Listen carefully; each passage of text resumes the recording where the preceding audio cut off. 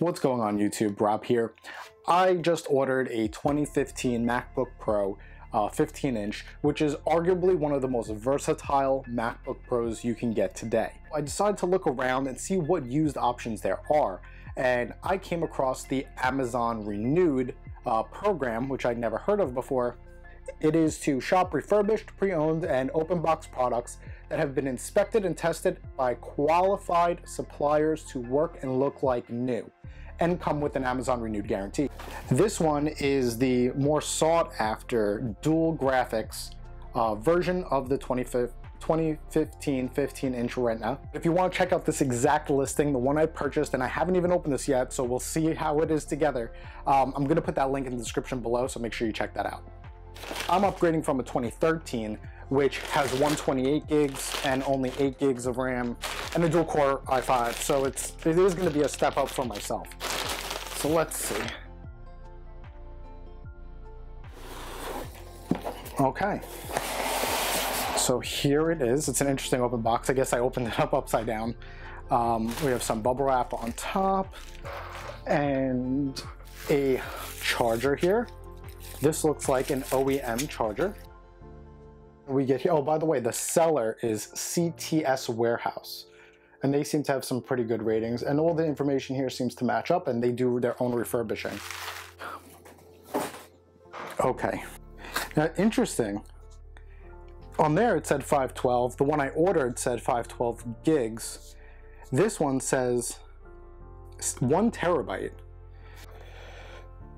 Wow. Oh, uh, part of the Amazon Renewed program, they say that it looks like new from 12 inches away. So if we're looking, that feels a little weird. If we're looking from 12 inches away, do you really notice anything? This might be a vinyl skin. Yes, this is a vinyl skin. That's why it looks a little weird on the edge. Huh, so maybe they're hiding something.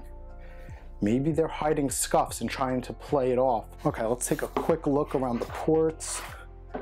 Okay, so over here it's a little dinged up. There's a bunch of scuffs on this side. And the ports look pretty good though. Ports look pretty good.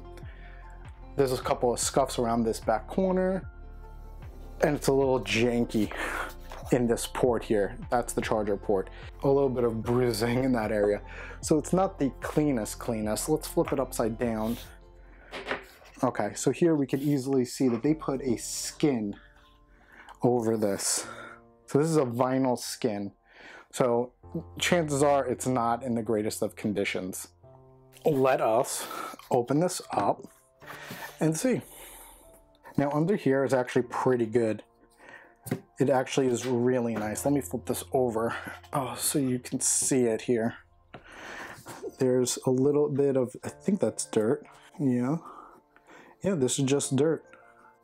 It's actually really clean under here. Maybe we'll be lucky and under that vinyl skin, it actually is clean. The screen looks pretty good when it's off. Okay, that's a good start. So I'll just go through the setup process. Okay, so what are we on here? 2.8 gigahertz Core i7, 16 gigs RAM. So I'm going to run some diagnostics on this, but first I'm going to take the vinyl off.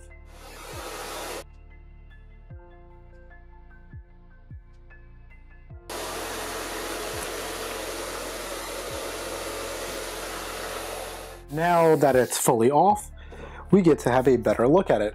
There's a couple of little marks right around the edge, which isn't you know a big deal. That isn't too noticeable. Same thing around here.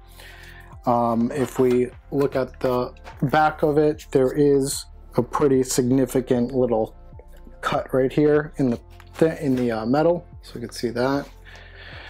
In the corner, there is a nick over here, and then it's hard, probably hard to capture this on camera here, but there is a line that goes through uh, this portion of the lid and then right here. So you can see there are, are a lot of abrasions in this area. I don't know what Amazon may have been thinking when they said that they also certify these um, from their professional team because they would have known there was vinyl on it and they would have seen this. So this is not, this is something noticeable from more than 12 inches away. A few of these tiny ones you could deal with. This one it's lifting up a bit, so it was really a nice little chunk that came out. Um, but all in all, it's not terrible condition. This whole area feels nice. I'm gonna go through each key. The surface is very good. Um, I'm actually really impressed. I thought this area was going to be worse. Uh, now what we have to do is flip it over. And I'm dreading this one a bit. Uh, take the vinyl off this section.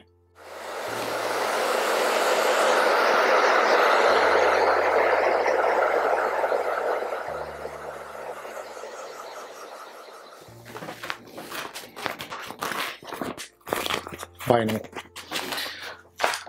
At least it was a good quality vinyl. It was nice and thick.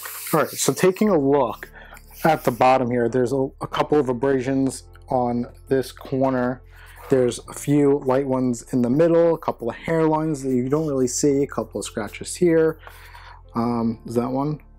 A, little ding over here and a couple more in this corner. That actually looks pretty decent and that's something that I think anybody can live with. That is perfectly acceptable. The HDMI, the USB, and the SD card reader look really good. Um, on the other hand, the other side looks a little dirty on those ports and there's a lot of wear near the uh, MagSafe connector. There's actually a lot of wear in there. It looks like there's a little bit metal chopped around it. Right now it says that the battery health is 81%, which I think is pretty good. 782 cycles. So now we're going through the standard diagnostics test uh, that's built in to Mac OS. Power adapter was not tested, of course. There may be an issue with power adapter. So that's all good. So the speeds are still pretty good. Here are the takeaways. It's not in perfect condition. It's not like new condition either. We were a little bit misled because there was vinyl on the top and the bottom of this machine, which there should not have been. Um, yeah, it has some bumps and bruises, but as long as everything works out, I will be happy. I'm going to test it over the next few days to make sure that there is actually nothing wrong with it uh, before I go ahead and trade in my Mac. Um, but if you found this helpful and you want to know where to find the link for this exact computer or for the listing that this computer came from, I'll put that in the description below and I'll talk to you on the next one.